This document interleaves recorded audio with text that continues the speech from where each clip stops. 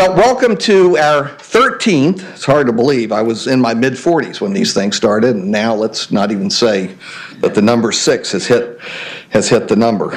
Um, welcome to the 13th annual American Democracy Conference, sponsored by the University of Virginia Center for Politics. Uh, at this conference, we've tried to assemble many of America's top pollsters and journalists and party representatives and a wide range of behind the scenes strategists to discuss the upcoming election, whatever that election is, and of course, the big one is coming up in 2012. Lots of big ones. I do want to thank uh, Rick Shelby. Is Rick here today? Well, he'll hear about it if we, uh, thank God. Wonderful to see you, Bill. they're, they're trickling in. Uh, Rick Shelby is Executive Vice President of Public Affairs for the American Gas Association, and uh, obviously he has given us this beautiful space, and I think the Capitol is out there someplace. Is it over there? I can't see it. Usually there's a great view of it, but uh, apparently for the cameras and so on, they want to keep that closed, unfortunately. But we're delighted to have the the American Gas Association support and the use of their conference space for this uh, this annual conference.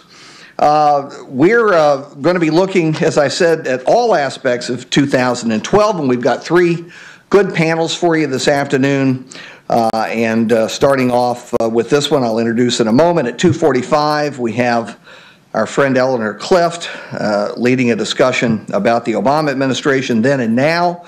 And then we want to make sure you stay around for our fourth and final panel, which is always useful because it's the insiders who are actually running these campaigns and know what's going on. We just talk about them. Uh, and we pretend to know what's going on. And some people, you know, Alex and Maria and Bill, they get insider tips. But um, it's useful to hear the insider's perspective, and that will be at 4 o'clock. And that panel will be run by Major Garrett, who um, was the co-anchor of the uh, Saturday night's uh, debate there on CBS. So we're looking forward to having having uh, him with us as well. So let me go ahead and introduce our panel, and I'm going to start here with Alex. Uh, you all know the name if you haven't met Alex. I like to call him Alexander Burns because that's the way he signs his pieces. He's a reporter for Politico, was heavily involved in the election coverage in 2008. He's all over TV doing various and sundry shows there. He has a terrific background. Uh, tragically, he was not admitted at the University of Virginia and he was forced to go to Harvard. Um, and um, he assures me that Harvard was not his first choice. It was the University of Virginia. Now, he, he edited the Harvard Political Review there, the publication at the Institute of Politics. Uh, also, I have to say this um, Alex did a fantastic job with morning score. And if you don't get this, you should get it. Now, he's passed it along to one of his colleagues with great regret because it causes you to stay up all night. It's the first thing you get in the morning. It comes in. And I've got to say, you had morning score coming in earlier than your successor does by about an hour. And you tell Jim I said that. I've noticed James uh, is, is sleeping later than you did. But poor Alex was up literally almost the whole night producing morning score. If you don't get morning score, it's free. You sign up for it at Politico, and it gives you a great summary of what's happened politically you know, in the last 12 or 24 hours and has a lot of new information in it, a lot of exclusives.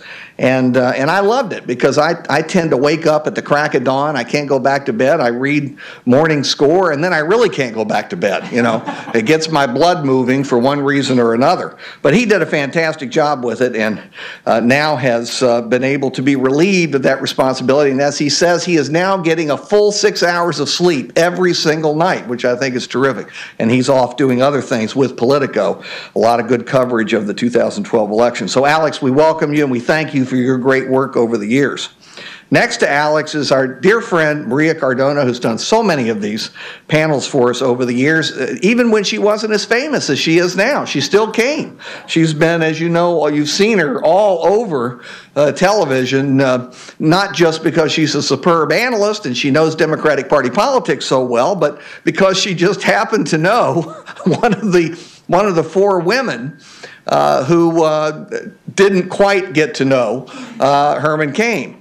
And uh, so she, she was speaking for her for a while. But in any event, uh, Maria is a seasoned Democratic strategist with more than 18 years of experience in politics and government, public relations, campaigns, you name it. She's currently a principal at the Dewey Square Group, where she heads the firm's public affairs practice, combining public policy, communications, coalition building, constituency outreach, government relations, and traditional as well as new media. Uh, she's, uh, as I mentioned, a frequent commentator. Uh, CNN uses her a great deal, MSNBC, Fox, all of them use her. And uh, most recently, Maria served as senior advisor to Hillary Clinton's campaign for president. I bet a lot of people have been coming up to you and saying, well, we really made a mistake in 2008. Apologies to the Obama people. I'm simply reporting what I'm hearing too from Democratic activists. So, right? is not that true? You know, and it's always it's always nice in life when when you know you can basically say to people, "I told you so," except you don't have to say it they're allowing you to realize that you would have said it if they'd given you the opportunity. But uh, she is a graduate of Duke University. We beat you last week. Uh, just, uh, but uh, Maria, it's a yeah, it's a, no, it's a wonderful, it's a, it's a wonderful university. Now, it's not up to the University of standards, but it's a good, good university. Uh, just kidding. Now, Ed is not here. I'm going to introduce the panelists who are not here very briefly because they don't get their full introductions. But he is he was his plane was late and he's coming in here.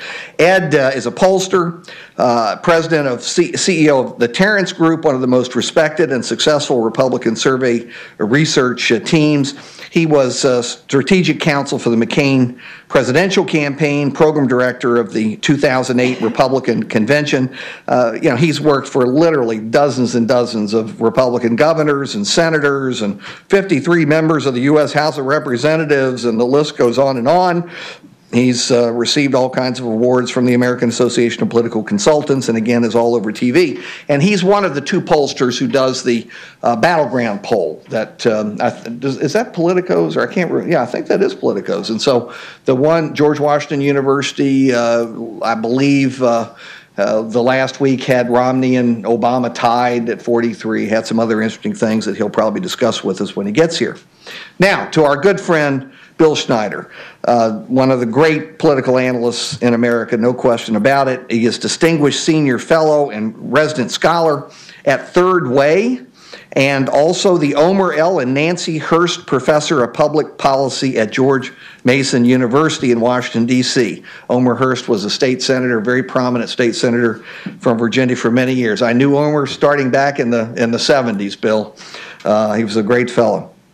Uh, he, uh, Bill is, uh, as you know, was CNN senior political analyst for decades, and uh, many of you grew up listening to him and learning from him accurately about politics.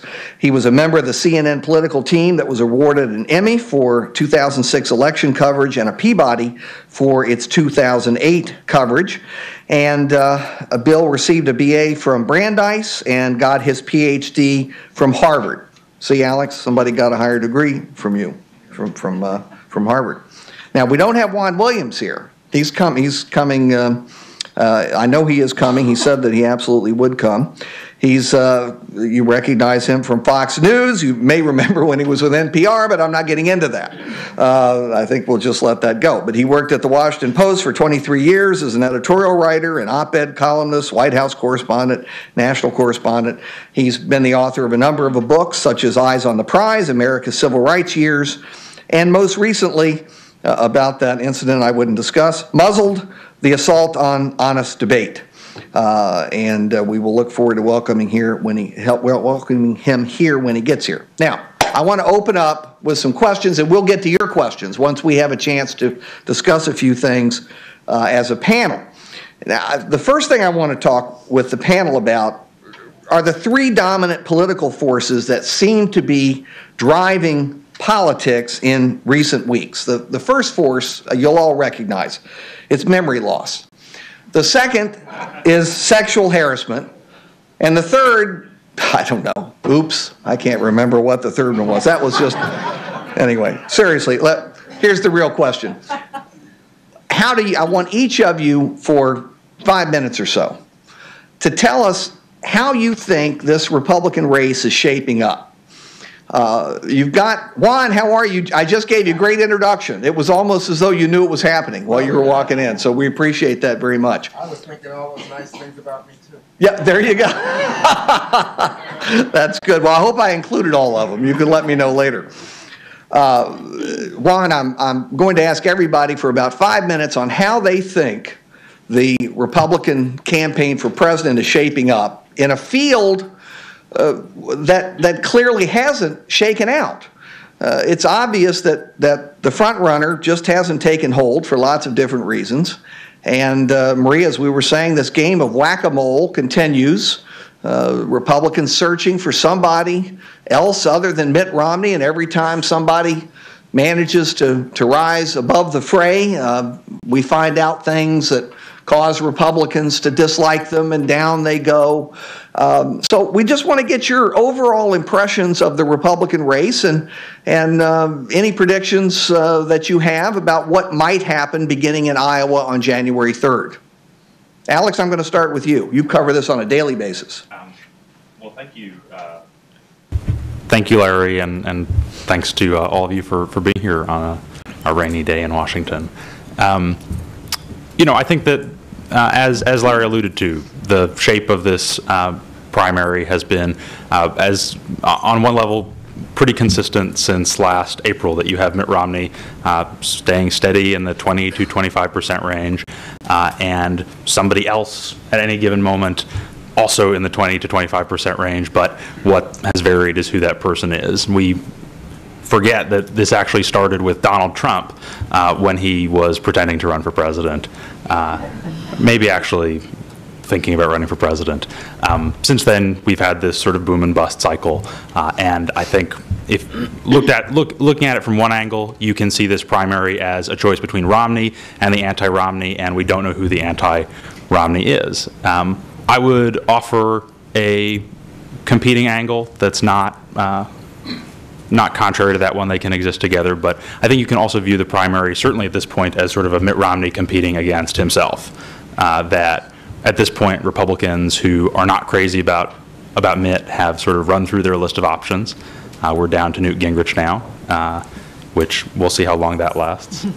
Um, and with we're, we're seven weeks out from Iowa, and I think the question is, you know, will Mitt Romney finally be able to do something to connect with the conservative base that lifts his numbers a little bit higher? Uh, is that 25% number uh, a ceiling? Is this as good as it gets for him? Or is that, uh, as one of my colleagues at Politico suggested last night, uh, is that a floor for him? Is that, the, is, is that as bad as it gets for him? If his numbers don't go below that, then maybe when people start voting, they will start to see him in a different way. He will start to uh, actually rack up some votes, and people will begin to realize, well, this guy can actually win things, and we want to win something pretty big in November. Uh, maybe this is our guy.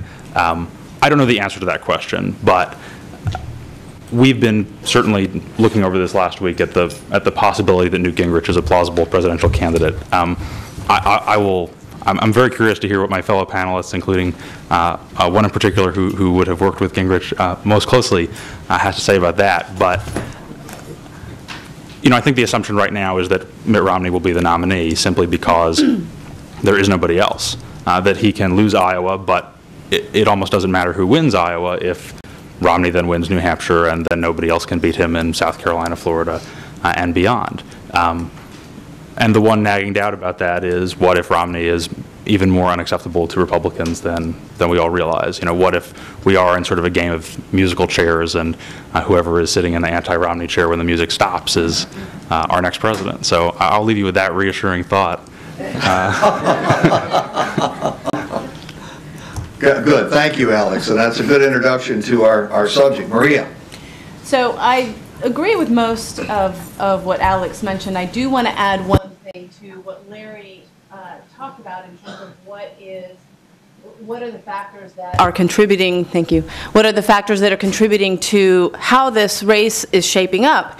And I would say that a big factor in all of the sort of what I love to call, and I've mentioned this on TV, the Republican GOP whack-a-mole process, because it's exactly what Larry talked about. You have Romney, people are not enamored with Romney, conservatives are not enamored with Romney, and they are looking for the alternative. And we have seen, I think, every sing, almost every single person right now who's running for president, except for Jon Huntsman, because he's way too moderate, um, rise as sort of the anti-Romney, and we've seen them being whacked down for one reason or another. But I think one reason for that is because of the ideological force of the Tea Party and the way that the Tea Party has really inserted itself in how the GOP field is shaping up. And, and, and what I mean by that is that and you've seen this from analysts from, from left to right, that this is a GOP field that is as right as we have seen in many, many years. And in fact, you talk about how a lot of analysts have talked about that Ronald Reagan could not be nominated in today's GOP environment because he is not conservative enough. Excuse me. Which is very ironic because you see the Republican candidates, one after the other, pay homage to Ronald Reagan, when in fact, if they really look at his record and, and if they actually talked about what he did, he would be run out of today's Republican Party. Um, so I think that the, the Tea Party really has an effect, has had an effect on how this whole GOP field has been shaping up and why Romney, and the reason that there is, I think, this whole movement of anybody but Romney and Romney running against is because Romney is a moderate. But he knows he can't win as a moderate. And so what happens? He has now flip flopped on every major political issue that he has ever stood on. And, and so conservatives sort of see that and they don't trust it with good reason because how are you going to trust somebody who, who for purely politi political reasons is going to do a 180 not a nuanced shift, because that's fine. People do that. People grow. People evolve in, the, in their political leanings and their political beliefs. This is not a nuanced shift. it, it is a 180 flip-flop. And that's why I, that, that I think is one of the biggest reasons why he is vulnerable and why conservatives do not trust him and they are looking for the anybody but Romney. And it's interesting because now it's Gingrich's turn. And, and again, what you see from Gingrich, frankly, from my view, is that he is also quite moderate in, in as, you com, as compared to the current GOP field. One of the reasons why his campaign floundered at the very beginning is because during a um, Meet the Press interview, he actually attacked Paul Ryan's economic plan as being way too extreme. And then I think, you know, that was a rare moment of honesty of the true Newt Gingrich. And, and the man is smarter than anybody else on that uh, in that field. As he will tell you. As he will tell you, exactly, time and again. Uh, but at least, you know, he has the record and the ideas to prove it, right? Um, but so you sort of are seeing him also sort of compete against himself because he is a lot more moderate. And for me to say that is saying a lot. So uh, I think that it's going to be very interesting what happens from here on out. It has been so bizarre the way that candidates have risen and then fallen and, you know, far be it from any of us on this dais to ever predict what voters are going to do because voters will do what they want to do. And none of us are smarter than the voters. So all I can say is that for me as a Democrat, it's been fun. Well, we're glad you're having a good time, Maria. Thank you. Absolutely. And in, in your, ab- in absentia, I gave you a full introduction with, with high praise, and we appreciate enormously your being with us today. And of course, as Alex mentioned, you, uh, you know uh, Speaker Gingrich rather well, and of course, uh, having worked for dozens and dozens of Republican officials, you've got a great feel for this presidential campaign. If you can give us an overview, what you think is happening and will happen presidentially. Well, it it seems the focus is on the Republican primary, which is. uh, Yes. where- where- But we'll get to the general where The election later, Democrats would right, like, like to right. have it, I'm sure. So I'm having so much fun. You know, I, well, ha- have your fun, because it's probably going to be the last of your fun in this election. We'll see. The, the, um, I, I I always love kind of going back and, and the, the revisionist history, if you will, of uh, romanticizing Ronald Reagan. Ronald Reagan was a, was certainly a great president uh, from, from my viewpoint. Um, But presidents only get lightning in the bottle once. They don't get it in both elections. And Reagan didn't have it in 1980. The reality of Ronald Reagan is he was portrayed as being ultra-conservative, socially conservative, not smart, B-rate actor. Um, He helped with a few comments like, "I'm not going to worry about the deficit, it's big enough to take care of itself." Um, More pollution, more pollution is, more pollution is caused by trees than by people.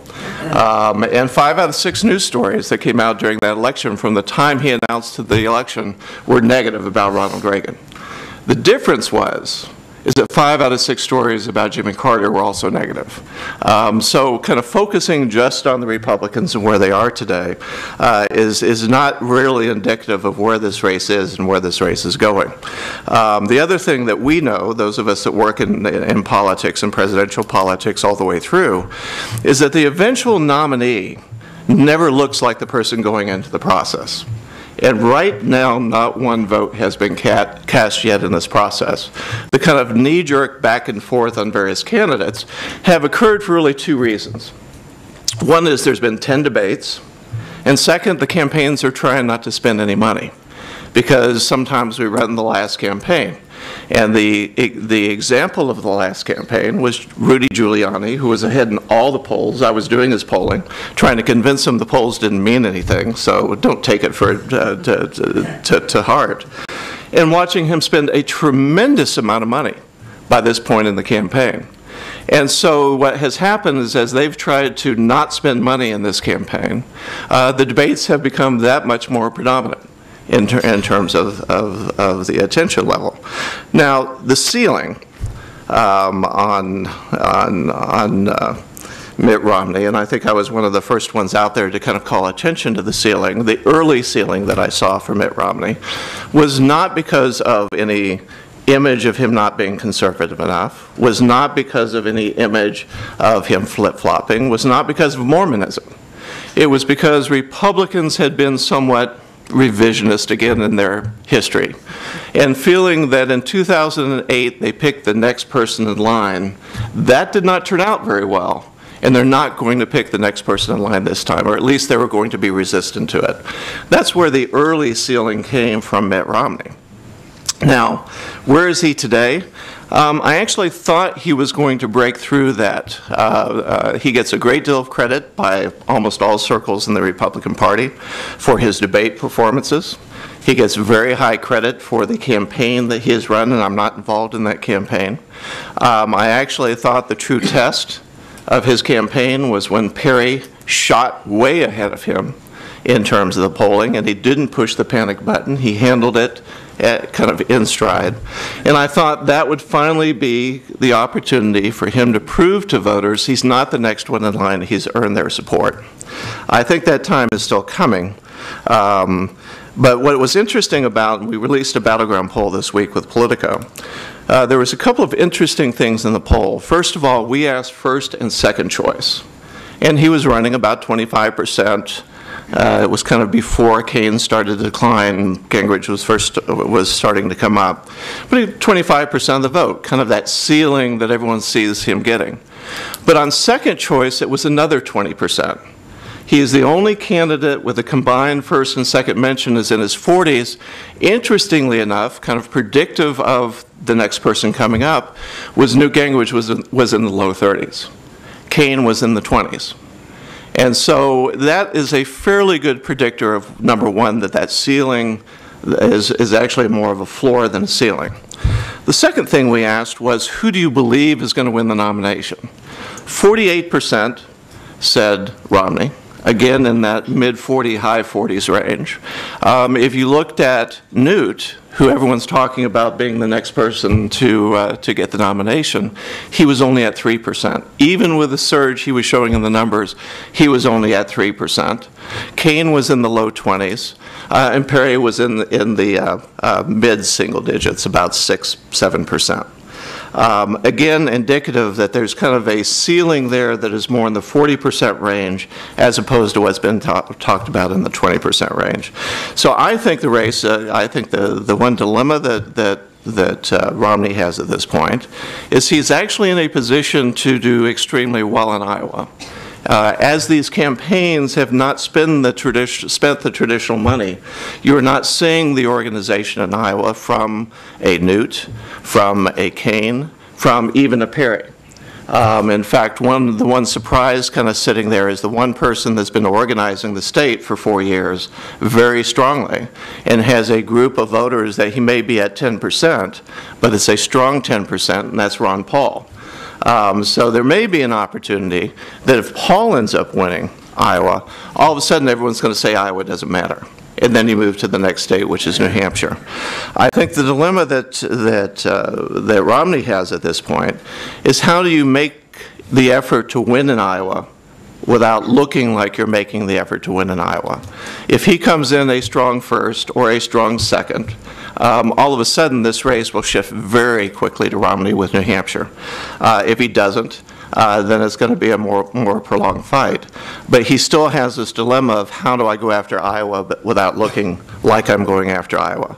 And I will tell you, the one thing I, I kind of walked away from focus groups in Iowa, kind of understanding, is their belief in Iowa is that if they haven't met a candidate at least three times, then something's wrong with the campaign. I mean, that's the mentality of the Iowa caucus goers. And so winning it without looking like he's trying to win it is going to be kind of a, a long stretch. But anyway, that's Should he how I see it. it? Should he just skip it? Well, no, I, I think he's done everything he can to basically look like he's not going after it hard. But again, if you look at most of the Iowa polls, the, the real credible ones that are really getting down to the caucus goers, he's holding in that mid-20 range. That you take off a Ron Paul doing well, and then you have the others that are competing with the rest of the vote, he could be right in there, first, second, uh, very close second place. But if he finishes third, he was suckered in. You know, the la, well, he wasn't in, he went all out. Right. And then, and then, you know, we know what happened. He did very poorly, or relatively poorly, and then that helped to bring him down in New Hampshire and ruined his campaign. If- if- Once burned, twice shy, uh, Yeah, and, and if he made a strong play at the last minute and came in a distant third like he did last time, um, he would be in trouble. Basically, everything he has done in the last year would be thrown out the window. right. So you can see what's going through Romney's mind and understand why he's making the decision he's making. All right, uh, thank you, Ed. Bill Schneider. There is an old Chinese proverb. It says, if you sit by the river long enough, sooner or later, all of your enemies will come floating by, one by one. Mitt Romney is sitting by the river. There goes Tim Pawlenty, Chris Christie, Michele Bachmann, Donald Trump, Mitch Daniels, Haley Barbour, ooh, Rick Perry, and soon Herman Cain, Newt Gingrich. He's sitting by the river. It's a very smart campaign strategy. Uh, If the Republicans nominate Cain or Gingrich, they are just asking for trouble. And I think they know that. Uh, They come with enormous amounts of baggage. Uh, By the way, I do think that in, in- if Barack Obama were not who he is, he would have a progressive challenger in the Democratic primaries.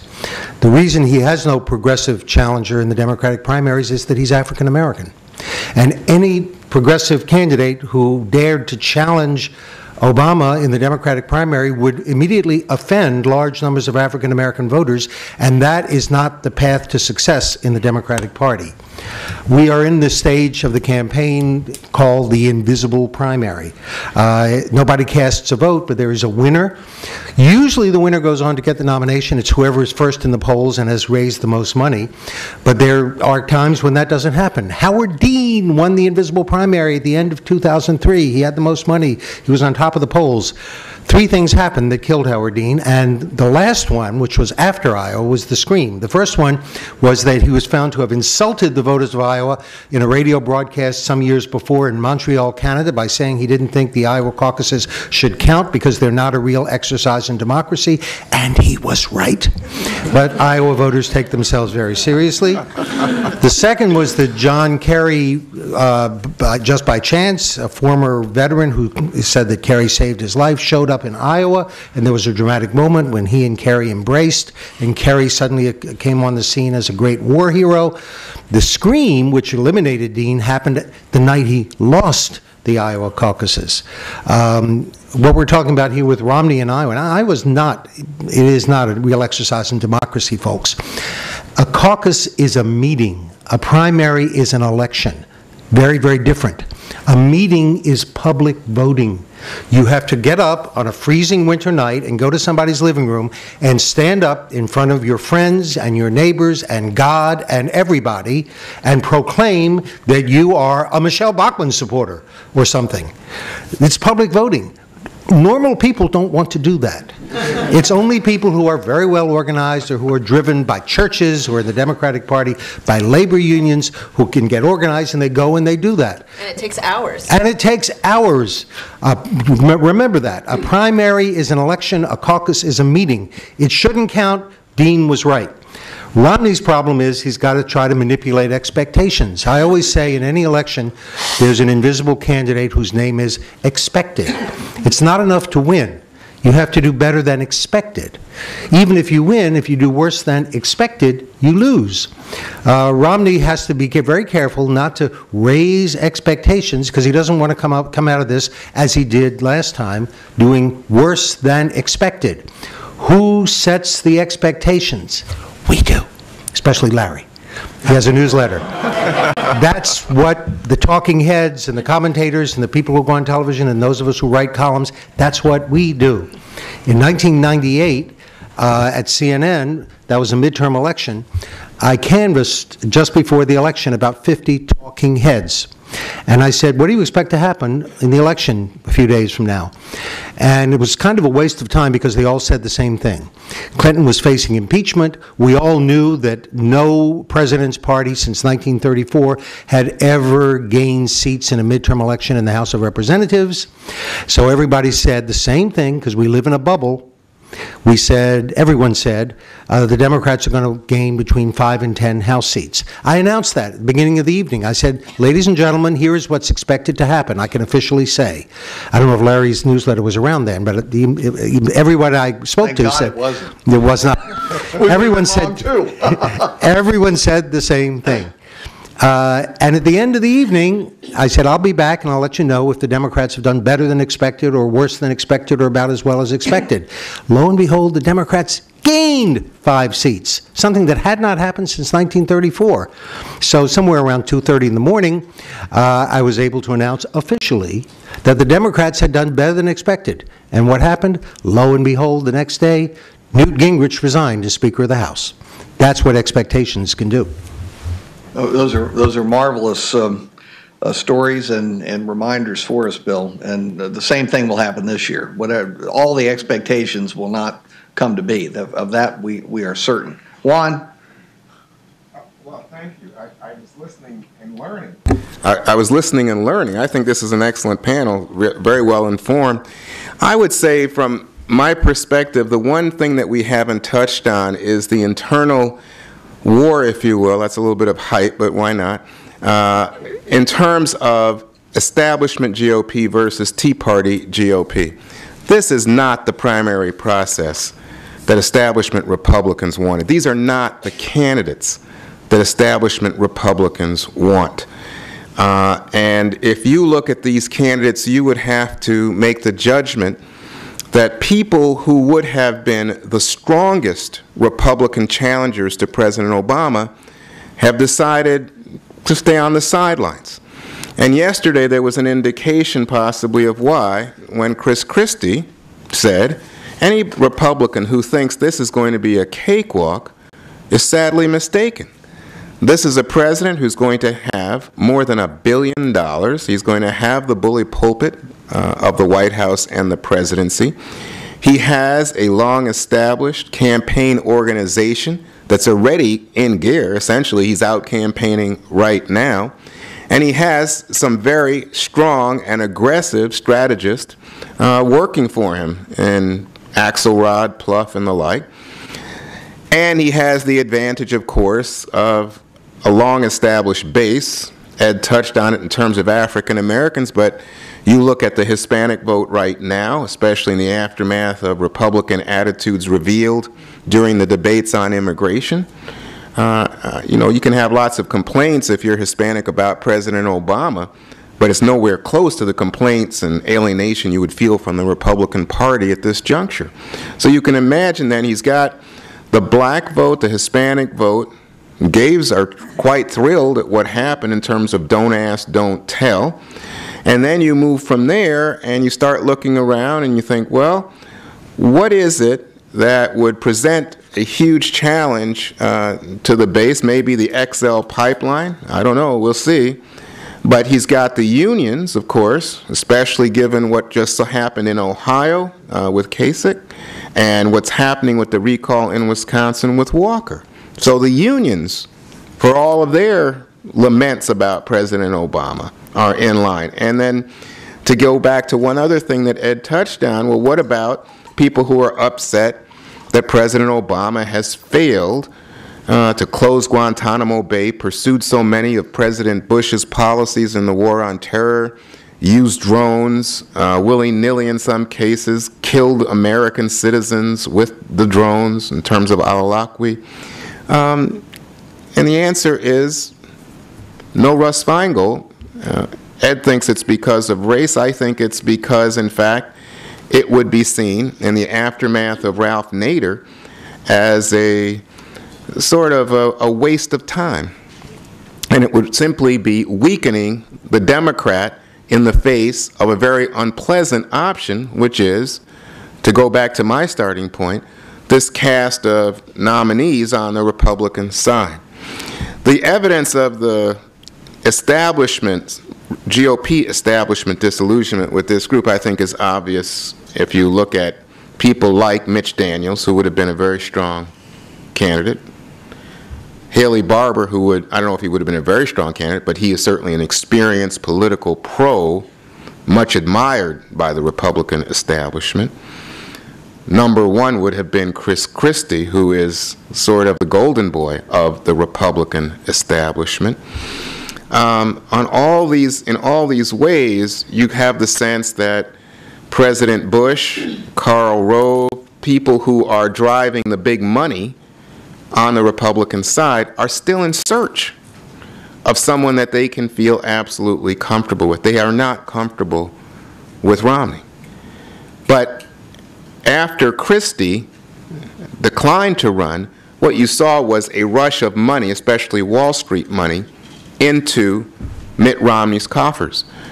And I think that that's, I, I agree totally with the numbers that I've seen would suggest that if you ask people who's your second choice, it's Mitt Romney. If you ask people who's going to win this thing, it's not only uh, the wise guy consensus of these pundits at the table, it's the consensus of Republicans. Mitt Romney is going to be your nominee.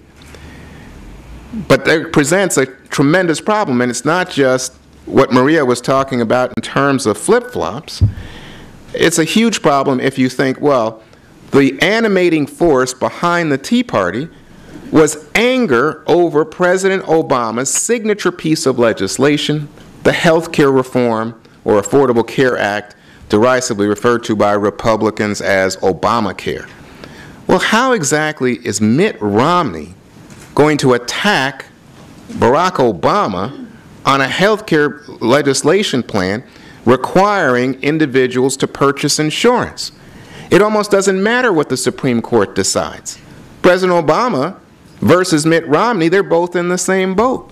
That's a problem for Tea Party advocates. On their signal issue, Barack Obama's signal issue, the likely Republican nominee is neutered. That's a big problem. So, in all of these ways, what you see is the Republican establishment not enthused, not fully engaged as yet. I get the impression from some on the panel that, oh, just wait, they're coming in because they all hate Obama so much. And that will be the animating force. It will be hatred of this Muslim, non born American, uh, whatever else, socialist, I'm sorry, I forgot, thank you. Uh, and it will be hatred of Obama that will animate Republicans, that will cause them to coalesce and discover the virtues of whomever the candidate might be. But at that juncture, you really have to ask, uh, you know, is it sufficient? Uh, yes, hatred, hatred and fear are great political motivators, but at some point, you do have to feel as if you are standing for something, and I think that's what would be missing in this picture. So, uh, obviously, we're talking here on November 16th, and the one thing I would say to you, uh, along the lines of what Dr. Sabato had to say about his newsletter, most likely we're very wrong. He who lives by the crystal ball ends up eating ground glass. There you go. That's our motto. Uh, But it seems to me, Juan, maybe with your exception, and Alex is a reporter. He can, he's a just the facts man reporter. He can't be declaring nominees. He reports what is happening. But um, it seems to me this panel set the expectations, if you're listening carefully to them. They have nominated Mitt Romney. I'm sorry. They have nominated Mitt Romney as a group. So uh, they haven't told us whether he's going to win it quickly or whether it's going to take a while because it's difficult to know what's going to whether Iowa's going to be a muddle or somebody's going to come up and nobody knows what's going to happen in South Carolina. Uh, Romney has a big lead in New Hampshire and, and probably very substantial advantages in in uh, Florida as well. And then Flor- uh, February's dead, and then you move on to Super Tuesday in the beginning of March, and, and that's where the organization and money for Romney really come into play. So you've all nominated Mitt Romney. So the next question, obviously, for this expectation setting panel is who he should nominate for vice president. Who do you think he will nominate? Who should he nominate to be his vice president to give him the best chance of moving into the general election as at least an even bet?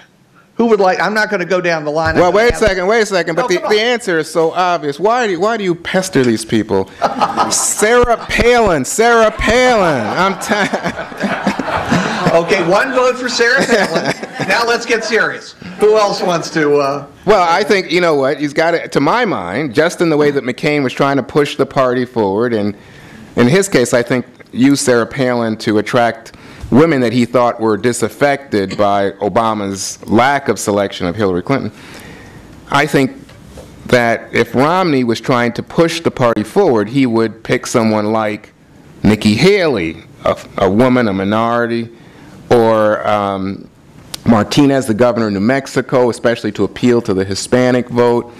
Um, it may be, though, that he has to go to the other extreme, which is the Sarah Palin extreme, which is that he has to pick someone who would appeal to Tea Party sensibilities. And maybe then you could do things like um, also look at critical states. You could look at Ohio and say Rob Portman. Uh, I think that's why Portman gets so much talk. Of course, I didn't mention uh, the Florida senator whose name I'm blocking. Marco now. Rubio. Rubio, but Rubio would fit in the same Nikki Haley Martinez axis. All right, Bill. Um, The, uh, Rubio is both Tea Party and Latino, although he's not Mexican-American, he's Cuban-American, and trust me, Mexican-Americans know the difference. Uh, He would be an interesting addition. Uh, He may have some baggage, but we don't know all of that yet. Uh, I will give you the Schneider rule for choosing a vice president. Write this down. When you choo- There are 10 reasons why you pick a vice president. Reason number one, pick someone who will help you win. The other nine reasons don't matter. When it comes time, he's going to pick whoever will help him win. Right now, that looks like Rubio because it would be a twofer. He would have a Hispanic candidate, he would have someone who appeals to the Tea Party. But there's a lot about Marco Rubio we may not know yet. And you weren't impressed by that article in the Washington Post about his uh, parents may, maybe not filling the category of, uh, of the exiles from, from Cuba. Did that bother you at all, Bill? Uh, They tried to go back to Cuba, that's, that's a debatable point. He did misrepresent how his, when his parents came here. Uh, He argues that they tried to go back to Cuba, they were unable to do it, so that he defines them as exiles. That's an important difference, by the way, because Cuban immigrants have a totally different status from Mexican immigrants. There are no illegal Cuban Cuban immigrants. Um, We have a wet foot, dry foot policy. If a Cuban immigrant sets foot on- in the United States, they're automatically uh, admitted to this country, they're legal, and they can become a citizen. Mexicans do not have that privilege. Uh, I think that is a debate, They'll- we will have that debate. I'm not sure it's totally disabling. All right, uh, Ed and, and Maria and Alex, I have to hear your nominees for vice president for your nominee, Mitt Romney. Well, I think, I think Rubio is going to be an obvious choice um, to, to kind of look at for a variety of different reasons. I actually think he came out of the whole story looking fairly well, uh, how, how he responded to the story. I mean, cer- certainly, uh, the, the bulk of the people out there, their response was very positive, and, and that kind of disappeared after that point. Um, I think in terms of uh, Portman, um, I think he might have been an interesting choice, uh, but I think with being on the super committee, that pretty much uh, nixes uh, him as a possibility. I, I think the one person to look at is the governor, governor of Virginia. Um, I think he has a very good record in terms of the economy. Um, I think he brings in a lot of the establishment Republicans uh, from the conservative end that are not necessarily there uh, for Romney. Uh, from that standpoint, uh, I think it has a solidifying factor. Um, he has uh, ex-military background that would come into play, some on the foreign offense, uh, foreign defense uh, i- issues. Um, So I, th- I think he may be kind of the sleeper to watch uh, out there. He doesn't get mentioned a lot, um, He but mentions himself quite a bit. in, in Virginia, but not nationally necessarily. Um, So I, I think that's going to be very interesting. I do have to say something about the Tea Party, Tea Party movement. Um, I, I think you can tell the difference between those people that understand the Tea Party movement and those people that call it the Tea Party, um, uh, which in fact it is not a party, it is a movement. Um, And if you look at the polling numbers, uh, we have tracked fairly consistently um, that it's about 40% of the electorate are favorable towards the Tea Party. Since there's not a membership, the only way to kind of look at it is favorability towards the Tea Party. And if you look at that, it's 85% Republican, 10% Democrat, and uh, uh, 5% Democrat, and 10% Independent. Um, So yes, they have some issues they're focused on, but in their core, uh, while they are putting certain issues as a priority right now, in their core, they're Republicans. And, and I think you'll see that kind of come back into play in a very big way in the general election when that's the choice they have, a Republican and a Democrat. Um, And so I, I think there's a lot of overstatement in terms of the Tea Party. Um, Are they playing a role right now? Uh, in terms of the activist of the, of the Tea Party movement speaking out and saying different things? Yes. Um, Am I seeing the actual, the, the, the- the broader scope of the Tea Party movement reacting any differently than the Republicans uh, in terms of what's going on in the presidential nomination process right now? Absolutely not. Maria, uh, Alex, any other nominees for vice president for So, Mitt Romney? I, I actually agree with Ed that I do think Bob McDonnell is going to be somebody on the very short list. But I do have to, thank you. I do have to say something about Marco Rubio because I know that his name has been mentioned many, many times. Um, And, and even if he is the the VP nominee, he will do nothing to attract Hispanic voters to the Republican Party because Marco Rubio is on exactly the opposite side of every single issue that Latinos care about, starting from the economy to education to immigration. He's against comprehensive immigration reform. He's against a legalized path for uh, undocumented immigrants. He's against the DREAM Act, even though he supported it once, and, and, and when he got flack for it from the Tea Party, he flip-flopped and is now against it. And uh, Bill is absolutely right. Mexican Americans do not view Cuban Americans as being able to understand the plight of most Latino voters, and Mexican Mexican Americans make up 70% of Latino voters in this country. Cubans, they believe Cubans do not understand their plight because of the wet foot, dry foot policy, and, and it is a real divide. And the other thing is that even Cuban Americans in Florida, that electorate is changing.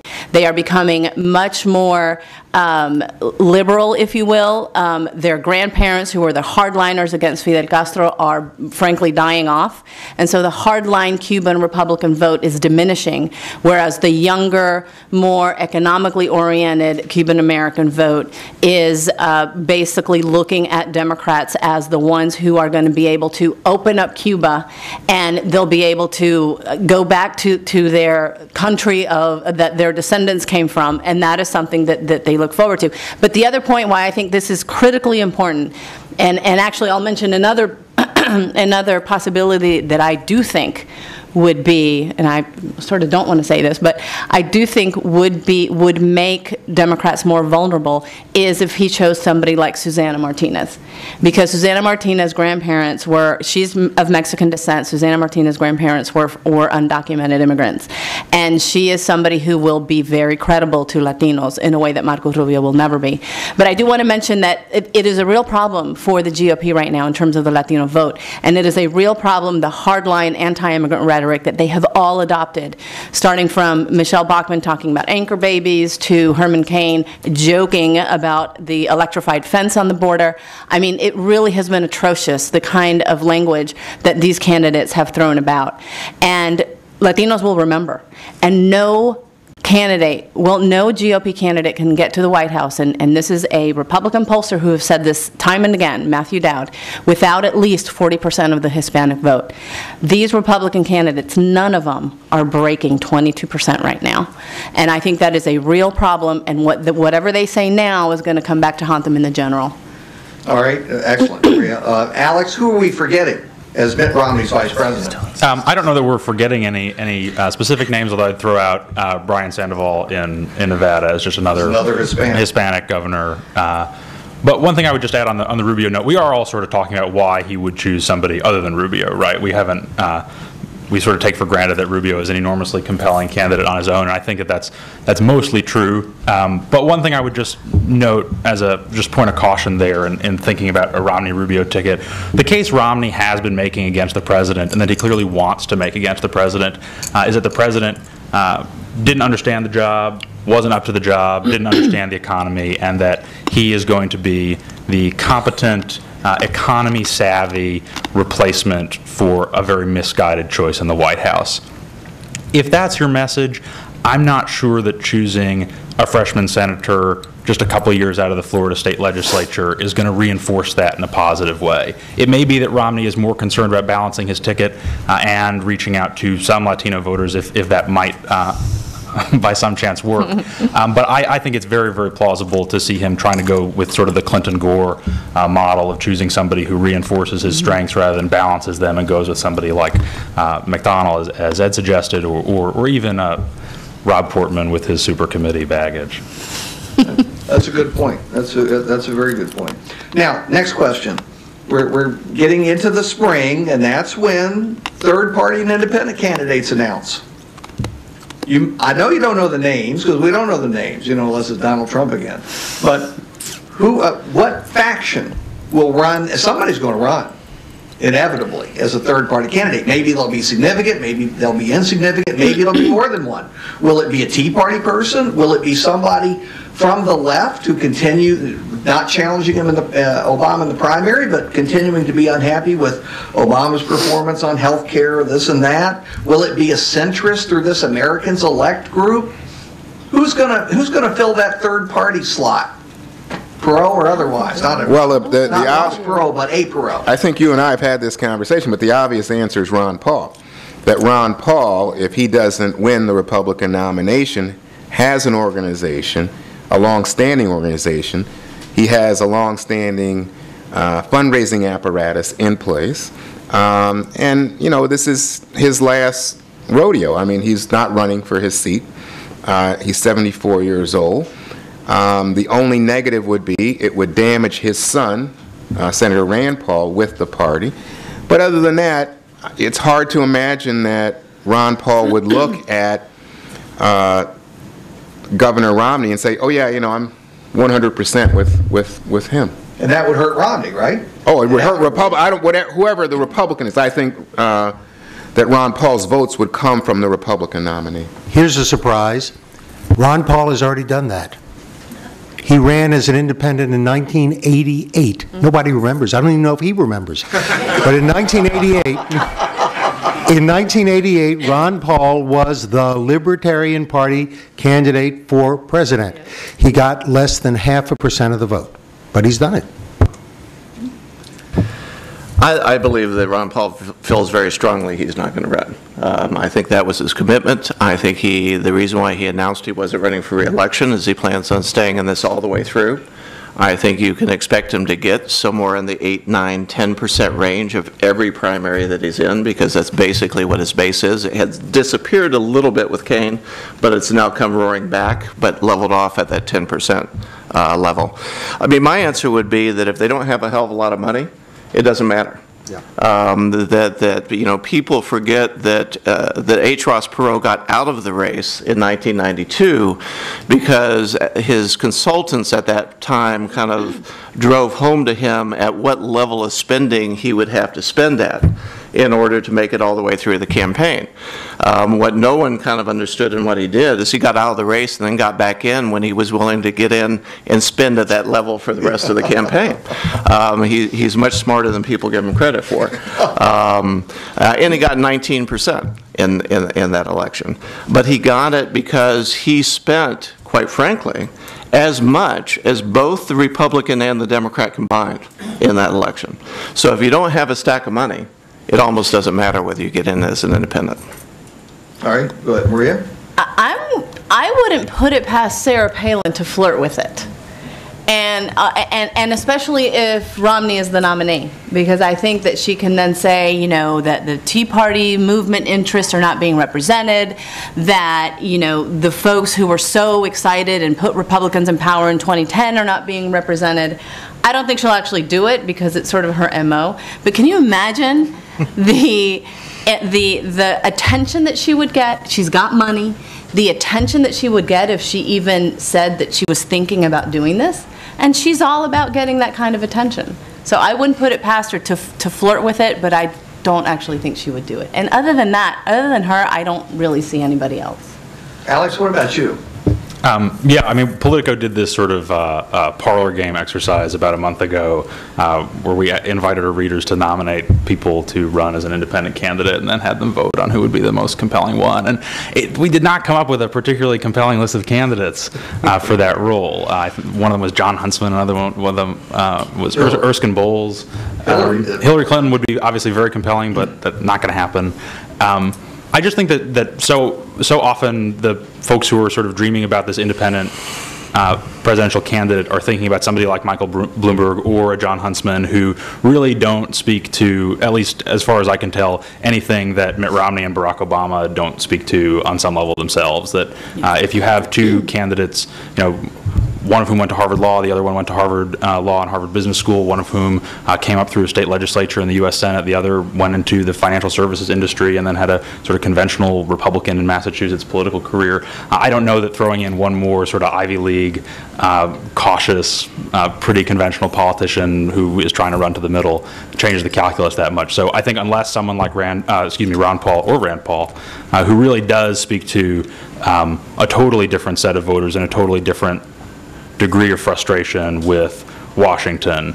Um, I, I, think if there were someone who, who was willing to fill, fill that role, I do wonder whether money would be less of an obstacle than it's been in the past, because I think all of us in the media would be uh, thrilled to give um, virtually unlimited coverage to uh, anyone playing that outsider role, but I don't know who that person would be.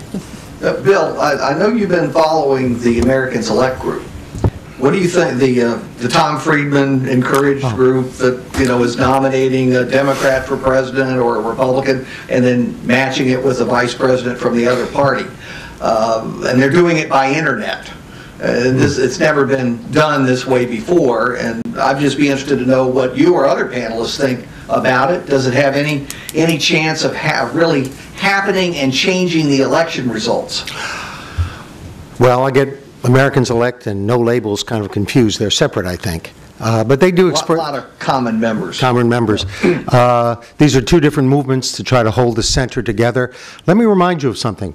We have had four presidents in a row who got elected on a pledge to bring the country together. They all failed. The first President Bush said he was for a kinder, gentler America. He lasted one term.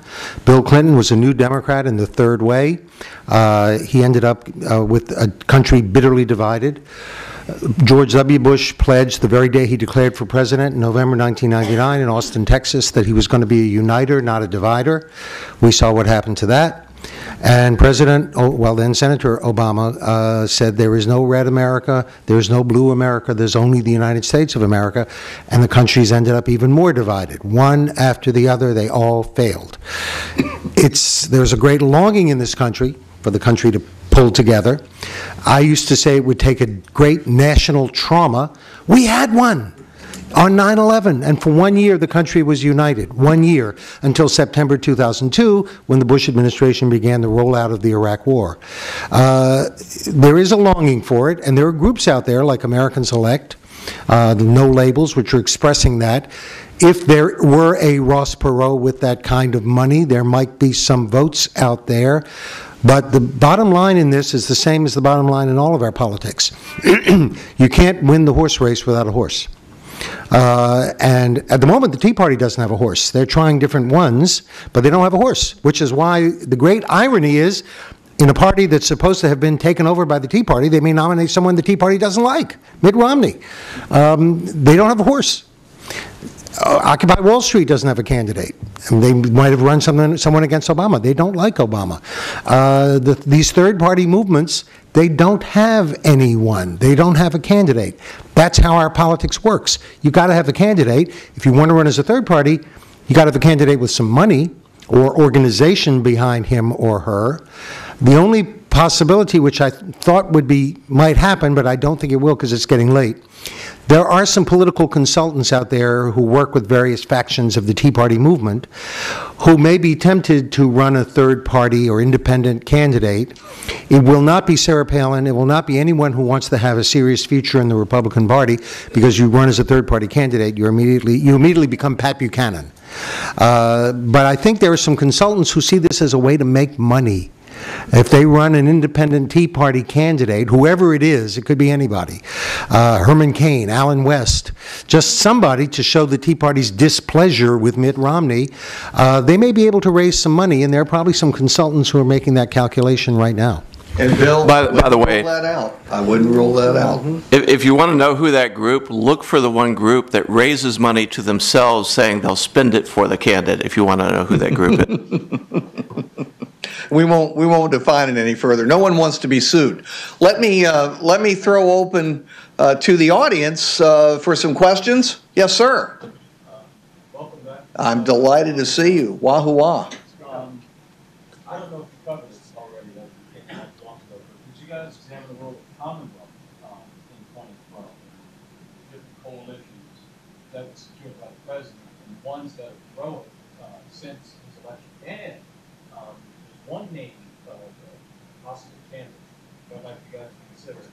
Uh, the radio nationally showed up, a good broadsheet, a few weeks ago, this was also, so two presidents, some went from the South, extraordinarily heavy uh, foreign policy portfolio that she had intellectual heft to take on all Congress. Congress is- Condoleezza Rice running as an independent for president? No, no, no, no, no. No. um, uh, As uh, Romney's, uh, VP. Oh, as Romney's VP? Oh, that's interesting. Anybody think that's a possibility, or is she fully retired and happy at Stanford? She ruled it out herself. Yeah, well, I mean, but, you know, that. That's what they say, and they, you know, I, mm. I, I I tend to believe her though. Mm-hmm. You know, I think there would be a lot of people. Sorry, I tend, I tend to believe her at her word. She has said in, in many interviews that this is not what she wants. She did her eight years, she wrote her book. Um, I, I, actually, as a Democrat, I admire her greatly. She's so classy, and I, I really do tend to believe, believe her at her word. She's got a great gig, and, um, and I, and I don't think she'll change her mind. Iraq, Iraq, Iraq. Think differently. You want to introduce the Iraq War into the campaign and bring all that back? Right. With Condoleezza Right, Rice on the ticket. that is a problem. Let, let, let me just mention one thing as a premise. Uh, there, there's a lot of myth about the 2008 election. Um, uh, the youth vote accounted for six of the seven points um, that, uh, that McCain lost the election by when you compare it to where they were voting just eight years earlier. Um, but the myth about a whole different group of people coming out to vote is just that. Turnout in 2008 was only two-tenths of a percent higher than it was four years earlier. There is not one, one uh, uh, special group, special interest group, whatever you want to call it, um, that voted more than a percent, more than they had, or a percent less than they had four years earlier.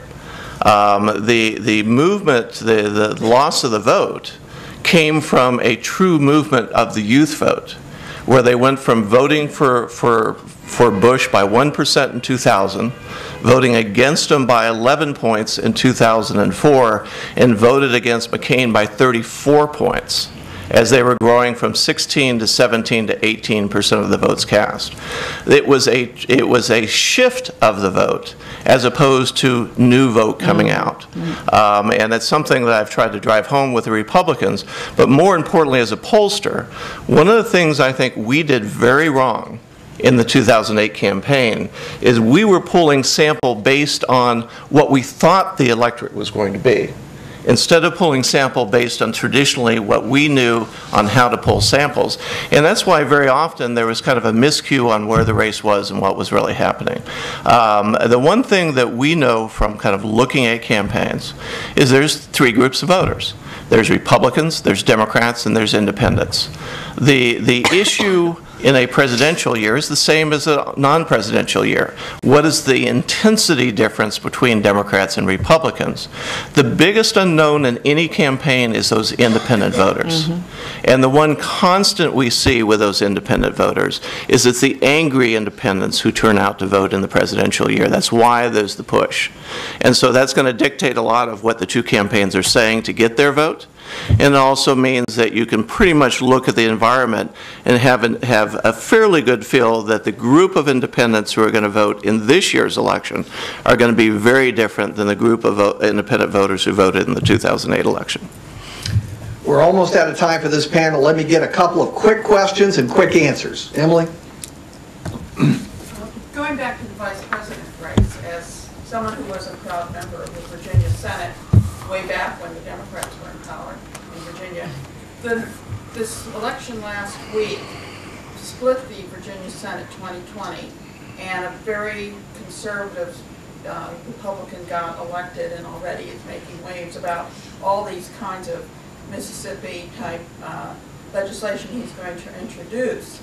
Now, got McDonnell, who's going to have to sort of moderate these Republicans in the Senate, and either he's going to have to go very, very conservative, or he's going to have to go more moderate.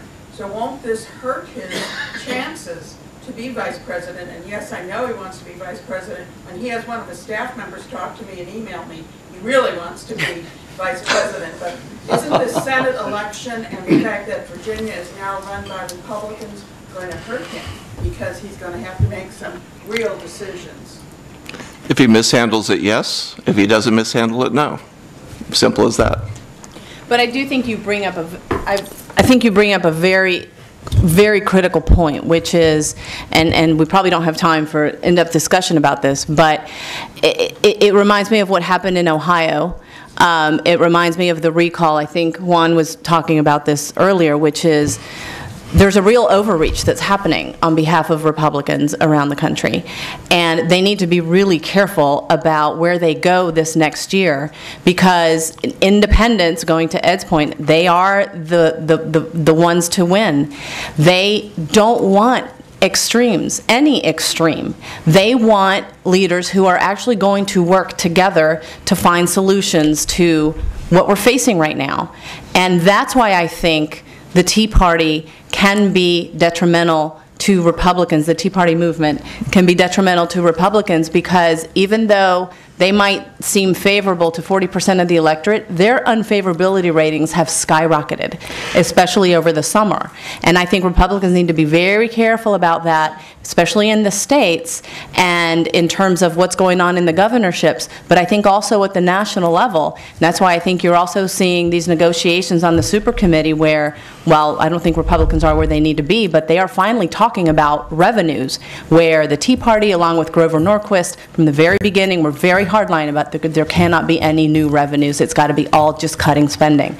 So, Two, th- two things real quick, because uh, I know the Democratic line is to p- call attention to what happened in, in Mississippi on the personhood and to call attention to what happened in Ohio. It's not the kind line, of- it's what happened. The, the kind of, the- but the missed story in Ohio is in fact two things. One is that the unions were very smart in getting the no position, uh, number one. I'll come back to that in a second.